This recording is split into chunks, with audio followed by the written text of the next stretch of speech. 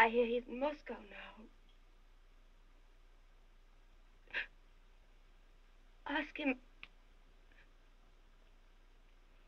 Ask him to forgive me. Yes, I will tell him, but Natasha. Oh, I know that can never be. All is over. Only I'm so tormented by the wrong I've done him. Tell him.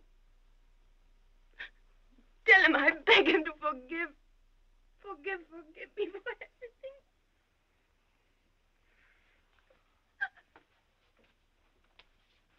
I will tell him everything.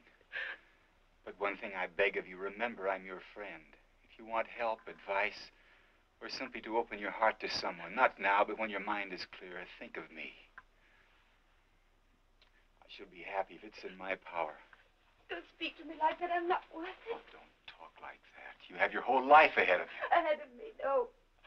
All is over. All is lost. Nonsense, Natasha. Natasha, listen to me. Look.